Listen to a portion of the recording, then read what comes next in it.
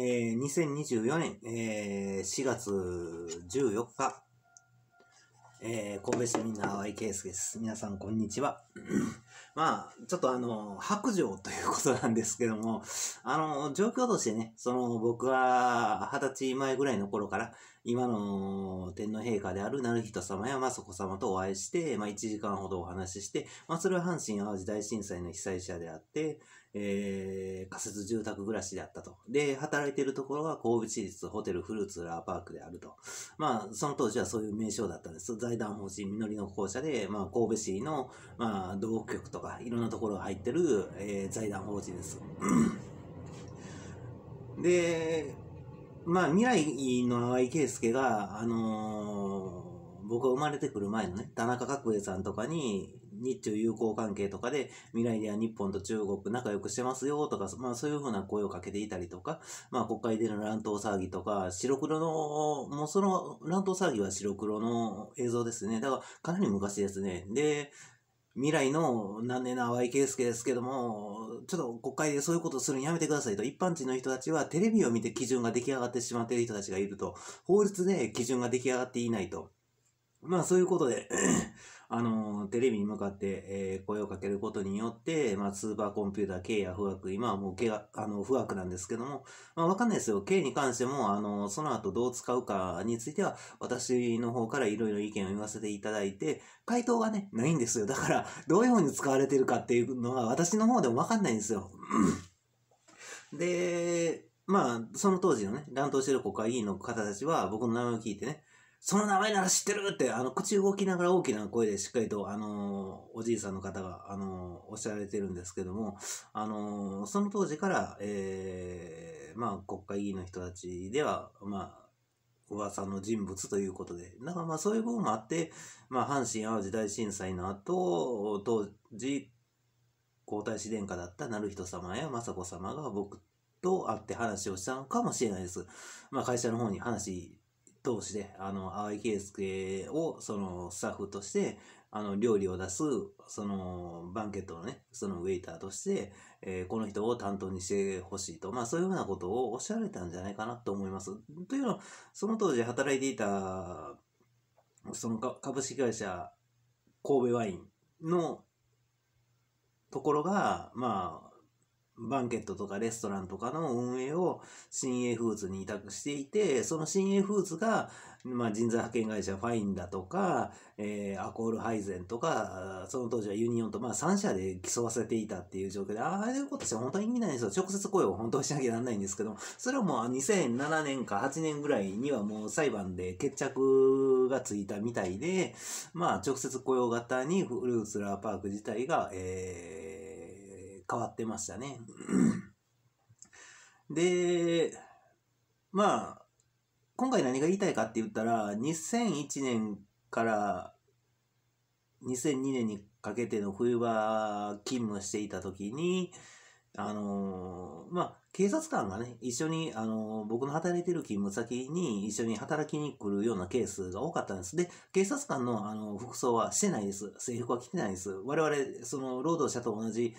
あのー、その州は株式会社のね、あの制服着て、えー、働いていたと。で、まあ、課長というポジションであったと。で、その当時から、まあ、未来からの声に関して、テレビ局通してなのか何なのかわからないですけども、まあ、未来で淡井圭介は暴力団潰しを行ってる、エロ業界潰しを行ってる、まあ、その辺の話から、その親族の人間か、暴力団絡みの人間か、暴力団そのものか、まあ、僕と同じぐらいの年齢、当時、まあ、20ちょっとだったんですけども、あのー、まあ、二人組とかで、北神戸店まで来て、えー、喧嘩売りに、何回も喧嘩売りに来ていたと。で、えー、まあ、まあ、あいちゃん抑えてとか、まあそういうふうに言われて、まああの何回も絡まりに来てるから、その警察官の人もね、あの、僕はもう仕事のことがいっぱいいっぱいで、警察手帳を見せてもらったのは1回だけだから、その人が警察官だったっていうことを 忘れてるんですよ、本当に。本当に。で、あのー、まあ、正当防衛とかいろいろあるから、こんだけ絡まれて、もし手出しても、これしゃあないやんなとかって言って、もその、店長だった人と課長だった人、両方とも警察官だった可能性が非常に高い。あの、課長だった人はもう有馬警察署で見てるんですよ。制服、その警察官の制服着で、ちゃんと内側でね、勤務してるところ。うーん、こいつは嘘つくやつじゃないし、まあそれぐらいは言うといたるわ、とかなんかね、僕は何か通報しに行った時に 言ってくれてたんですけど、その後、その人がね、あの、長田っていう名前で、えー、春和株式会社で働いてる時は先田って名乗ってたんですよ。で、人命会病院で医者になってたんですよね。精神科医。で、昔のことを、あの、話そうとしない。僕が入院させられた時、その担当になったんですよ、医者で。で、僕を入院させようと連れて行った時の、その刑事課の、まあ、年配の老人の、えー、刑事が、あの、お前のことよしと、やつのとこ連れて行ったろわ、とか、なんかそんなこと言ってね、僕の家に踏み込んできたんですよ。話逆だから。僕は暴力団潰して行っているのであって、あなたたち警察官がしっかりと守らなきゃならない。僕のこと。だから僕の通報をおろすかにしては絶対ならないの。110番も含めて。と、あの、と、県警本部にいる人もね。で、えー、それあんまり、あの、喧嘩売りに何回も来られていて、で、もう僕もずっと我慢してたんですけども、ついに我慢の限界が来たのが、お前の家族も脱がせてあるからな、とか言いながら、ゲラゲラ笑って、またそいつら髪の毛染めてるんですわ。で、まあちょっとぐらいは鍛えてるかもしれないんですけど、もうまあパッと見ちょっと体格良さそうな。まあ身長は僕と同じぐらいだったんですけども、う、もう僕はもう怒りの限界が来て、もう、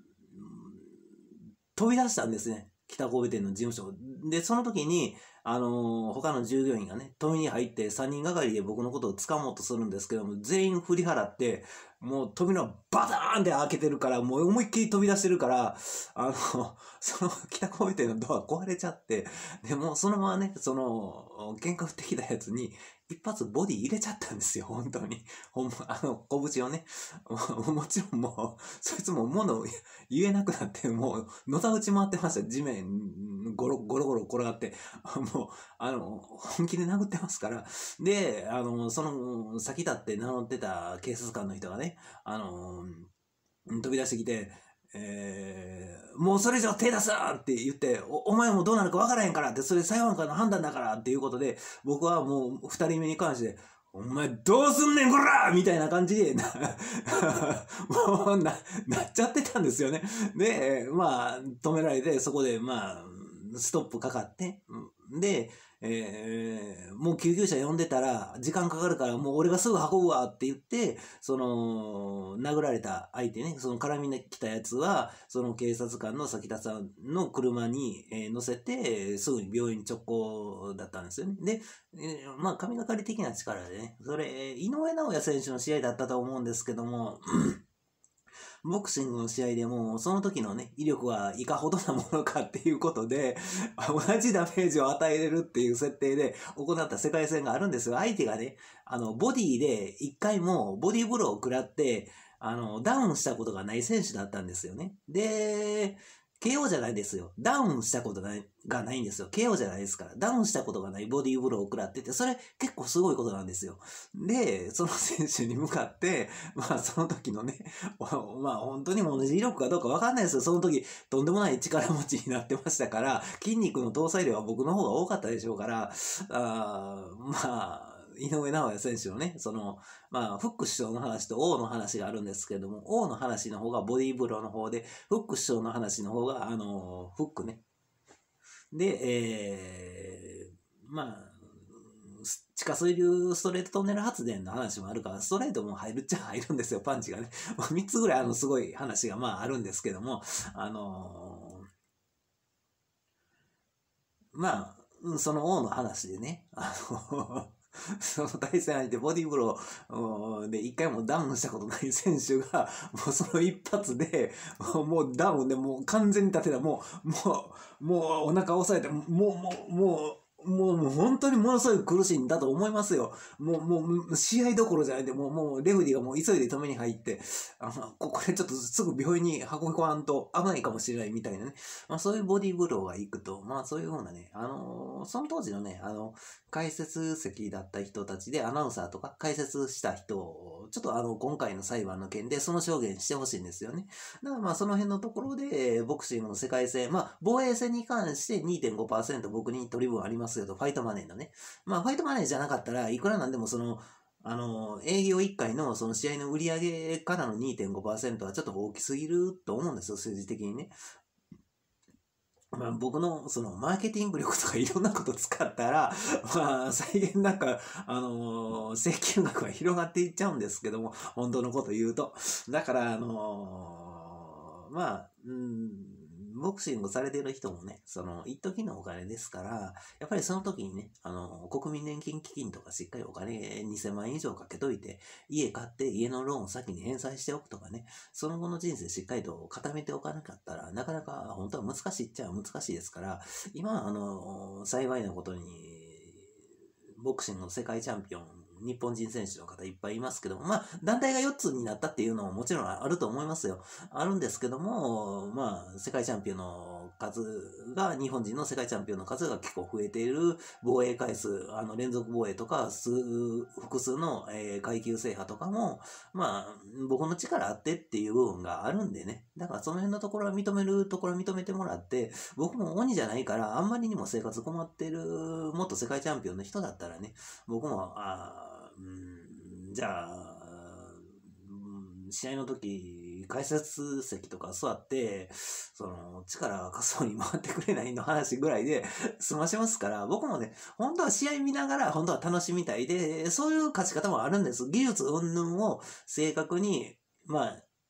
心の中の声でね、心の声とか頭の中で言い当てるみたいな形でもね、選手の方が正確に動けたりっていうのはあるんですよ。だからそういう勝ち方もあるから、本当は見ながらの方が、そうじゃなかったら、僕の方も、お金はもういつまでだってもらわれへんわ、あの、しんどいだけやわ、頭の中取られてるから、訴状とか書いてる時にパソコンしょっちゅう打ち間違えるから、もう、認識間違いとかも本当にあるから、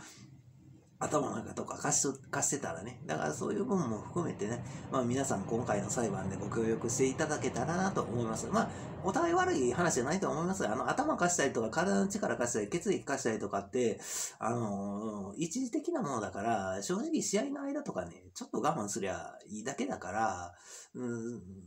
その解説席のね、人たちその力貸す。それで、その日のね、お金いただけるんだから、試合の解説席に座った時の。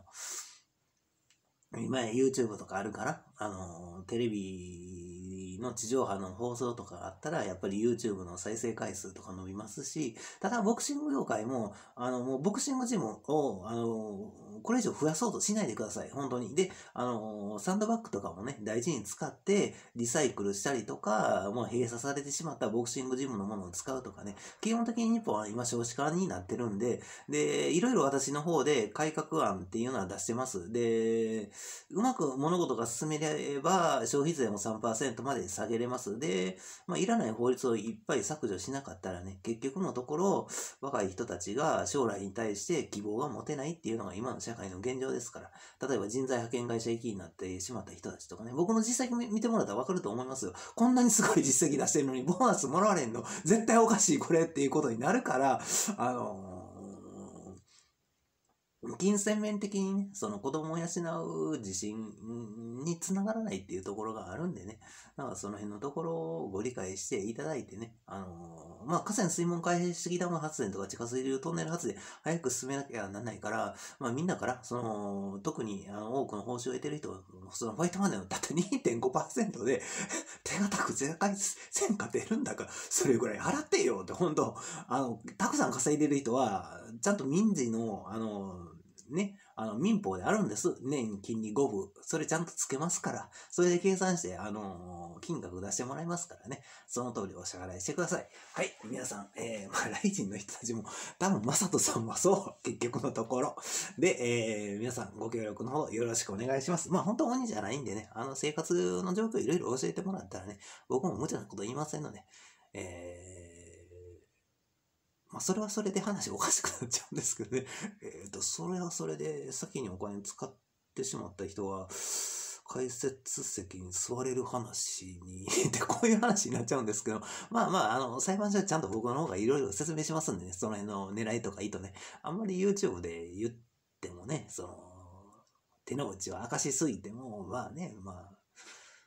麻雀で言ったらね、オープンリーチって振り込んだら100万でしょ。手の内を晒すって正々堂々として潔いっていう形でね。それで、あれは多分誰かが意図的に振り込んであげるものだと思うんですよね。オープンリーチ。そこまで正々堂々としてるんだったらっていう、そういうことだと思います。えー、まあちょっとあの、ボディフローの件について、一応、まあ裁判に近いし白状しとこうかなと。で、まあうん、だからそういう話を知った時に、警察官の一部の人たちが誤解してるかもしれないし、まあいろいろ聞かなきゃならない、その警察の方のパソコンのデータで、そのボディーブローの件が、その記録に残ってる可能性があると思うんですよ。で、その記録だけを見たらね、僕のことを、その、うん、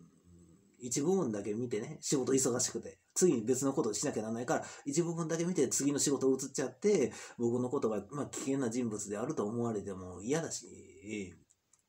ただ、もうある程度の部分なかったら、これ正当防衛で物事を進めなかったら、あんなに絡まれてたら無理ですよ。あと暴力団潰しとかしてたら。だって、僕は両顎殴られた件も、そいつらあの、そこの有馬警察署のすぐそこのオートバックスのところの、あの、歩道のところでね、僕殴られてるんですけども、そいつらと話した時に、お互い警察官間挟んで話しようってなったんですよ。で、そいつらも警察署行くって言ったんですよ。で、僕が、あの、男4人組の間のね、前から2番目歩かされて、先頭のやつが急に立ち止まって、急に立ち止まるかぶつかるじゃないですか。それを合図に前後で殴りかかってきたんですよ。で、避けれなくて、急の出来事だったから、僕も安心してたから、もう警察署に歩き始めたから、あ、話し合いで、ちゃんと決着つくわ、と思って、もうそれ、一人の一名の男はね、えー、多少していて、こっち側に仕置きかかってるんですよ。で、僕が、コンビニだったらすぐそこにあるからっていうことで、すぐタウジ駅の近くにセブンイレブンがあるんですよ。そこ行って証明したらええからって。まあ、そいつら、どうやらカラオケ行ってたみたいで、酒飲んでたみたいで、まあ、酔っ払ってたみたいですね。で、ただ計画的な犯行だったみたいで、脱シしてた人間は1名なんですけども、残り3名がコンテナのところに隠れてたんですよ。だから僕、その時当日の昼間も変だったんですよ。ノーヘルの、あのー、暴走族。あの、バイクを改造していてね、音聞いたらわかりますから。あの、マフラーかチャンバーをいじってるバイクで、ノーヘルの髪の毛染めてるやつが、あの、僕の、ここの家の前のね、この斜め向かいの踏切の横ぐらいのところ歩いてる時に、だいたい、だいそれぐらい、もうその範囲、まあ、50メートルぐらいのところ、あの、横、10、4時ぐらいに、まあ昼の2時ですね、あの、横通り過ぎてるんですよ。だから、その前から暴走族の関係の人間らに目つけられてた可能性もあるし、正直ああいう連中嫌いだし、まああの、まあ僕ももともとオートバイ乗ってたんですけども、もうオートバイ乗らない方がいい。あの、僕も、あの、挑発行為に乗ってしまって、スピード出しすぎて、カーブ曲がりきれなくて、あの、開放骨折してるんですよ。右足の背の部分なんですけども、骨が折れて、皮膚突き破って出てきてるんですよね。二十歳ぐらいの頃。19歳の頃かな。定時制の高校通いながら。まあ、入院してたのが1ヶ月ぐらいですかね。で、あとは松葉杖で、で、なんとか学校通って、まあみんな心配してくれて、で、まあなんとか高校卒業できたんですけども、その授業日数とかね、足らなくならない程度でね、まあなんとか気合で 学校行ってた方です。まあ、定時制の高校でしたからね、車の免許を取得していて、まあ、あのー、うん、僕を車に乗せてくれたりしてた、あの、帰りとかね、えー、そういう心ある友達とか見たんですよね。まあ、高校の良い思い出なんですけども、骨折ったのは良い思い出じゃないですよ。全然、あの、あの、その車のね、あの、送り迎えしてくれた子とかね。で、うん、それは今でも感謝してるし、で、またね、バイク乗ったらいろいろスピードとかに興味あるから、NSR の、まあ当時僕が二十歳ぐらいの頃って言った NSR って言ったらもう天下一品のレーサーレポリカだったんですよ。2班の。で、250cc の。で、まあちょっと前の世代の、あのー古いバイクが、まあ、8万円ぐらいだったら売るよって言ってくれた子がいて、仮設住宅暮らしなのに、もう贅沢なことにバイク2台持ってたんですよ。RF400RV と NSR の2班で、もうああいうの乗り始めたらね、結局スピード出しちゃうから、で、エシュロンとかの記録を知ってしまった時に、これ、スピード違反で、刑務所行きなるかもしれんって思って、天皇陛下に、あの、大社とか、あの、いろんな許してもらえる法律あるんですよ。内閣と、あの、天皇陛下が使える、平成の天皇陛下にそれ使ってもらって、それちゃんとね、全国放送の新聞、全国の、全国紙の新聞で、あの、ちゃんと、あの記載して、掲載してもらいました。50何万人スピード違反の人、まあ、許すっていう形で、本当はみんなスピード違反いっぱいしてるから、時速60キロぐらいの一般道とかでも70キロぐらいとか、大阪の方で東大阪の方行く、あの、2車線の道とか、上の方が、あの、な、モノレールが走ってるところの道路、も道路名忘れましたけど、もみんなそれぐらいで普通に走行してるから、これスピード違反でみんな口座からお金がめちゃくちゃなくなるって、エシロン本気で使われたら世の中ひっくり返るわっていうね。まあその辺のところ、これはこれで、まあけどエシロンのことも公式発表してるし、みんなちゃんと知識番組見なあかんわっていう答えになるんですけども、まあね、ちょっとね、あの、こういう穏やかな話もね、混ぜとかなかったら、あの、怖い話ばっかりに聞こえるでしょ。まあ今僕がしてるトレーニングなんかたかが知れてますよ。腹筋を出て背筋1セット30回ずつを4セットぐらい。まあ、いずれ数が増えていくかもしれませんけども、生活保護者ですから、あんまりトレーニングして筋肉つけ始めると、お腹すくでしょ 食費がかかったら、裁判ができなくなっちゃう可能性、コピー代だけで本当にバカにならないんですよ。で、早くみんなお金払ってもらって、特許ね、河川水門開閉式ダム発電とか地下水流トンネル発電、そちらの方早く本当に進めなかった、エネルギー問題解決しなかった、90億人の命かかってますから、本当に。エネルギー尽きたら、ガスとかね、石油とか、ガスは基本的に石油の揮発したものです。7割以上のものが。で、えー石炭、あとウラン鉱。ウラン鉱っていうのが原子力の、あの、原発の、えー燃料棒の元です。で、ウラン鉱なんか5万トンしかあの技術的に採掘可能なのないですから。で、はっきり数字をテレビでも発表してないから濃縮度合い。ウランとプルトニウムも日本も満単位では持ってるんですけども、濃縮濃度で、で何トンなのかとかを表記してくれなかったら、これ話全然変わってくるんですよ。濃縮前な、だったら、まあ原発で使用するのが確か、まあ60%か80%以上の濃縮なんですよね。で、核兵器は90%以上なんですけども、もう核兵器なんか作ってる場合じゃないですから、もう原発の方とかに回して、もうそれ電気に変えて、もう円やこらでなんとかしてるぐらい、だからもう核兵器なんか自然になくなります、全部、本当に。で、えー、まあ、2019年のデータベースで石油の技術的採掘埋蔵量が69年分しかなくて、今やはあの先進諸国化している国は40カ国ほどあって、そういった国が JICA という法律があって、まあ、5年ほど海外にあの派遣されるんですけども、そこで技術的なことを支援して、発展途上国をさらに先進諸国化していって、どんどん石油とかガスとか石炭とかの消費量が増える。どうしようこれっていうものすごい矛盾と戦わなきゃならない。だから世界中で今、あの太陽光パネルを、あの、どこの国もあの大量に生産して、大急ぎで屋根の上とかに取り付けなきゃなんないで、こんなことしようと思ったら、あの日本で言うと10万人雇用、まあ中国で言ったらまあ100万人ぐらいの声を正社員化してあげて、取り付け作業ね、足場組んで屋根の上に乗せていきゃいいだけで、あとは消防隊員の人とか、今時火事なんかなかなかないから、はしご車持ってるから、あの例えば、まあ列車の、あの高架のところとかの横の、まあ、直射日光のよく当たるところ、はしご車で、え太陽光パネル貼り付けていったりとか、もうしようと思ったらね、あの、効率の良い方法なんかいっぱいあるんですよ。法律で太陽光発電に関して義務付け化すればいいんですよ。で、みんなお金出さなくていい。電、電力会社が、あの、太陽光パネル貼り付けていって、あれは蓄電池を置くから金額が高いんです。太陽光パネル自体はそんなに高くないんです。蓄電池を家にセットするから高い話になっちゃうんで、だからそれでね、1キロワットあたりの、まあ、正社員雇用化しても、あの、1キロワットあたり15円ぐらいで発電できるはずですから、だから、電力会社からしたら稼げる話なんですよね、本当は。だから、その辺のところ、まあまあまあ、公正取引委員会とかいろんな法律の話になって、たら、あんまり電力会社がお金貯蓄していたら、電気代それ下げなさいみたいな話。まあ、もう政府はそういうふうに物事を動かしたりとかしてるんですけどね。まあみんながそれを知ってるか知ってないかの話。まあまあまあ、これはちょっとした、あのー、告白ついでね、あのー、良い話でも物事動いてますよっていう安心感もワンセットで、えー、お伝えしておきます。本当あの、僕のことを狙わないでくださいよ。いろんな人たち。あのー、絡んでくるのも本当にやめてほしい。あのー、僕もいつイライラしてるかわかんないですから、あのー、その時の状況によってね、あんまり絡んでくる連中が多かったら、まあまあ、今の僕だったらね、普通にあの、ちょっと警察呼ぶわぐらいから始まるんですけども、何か抵抗したり、殴ってこうとしたりとか、もう肩掴んできたりするんだったら、もう、殴る、殴って止めてしまうかもしれません。そうじゃなかったら、こちらが危険ですから。両顎を割られた経験から言うとね。大体ね、絡んでくる連中って複数でいる時なんですよ。一人で歩いてる時ってみんな絡んでこない。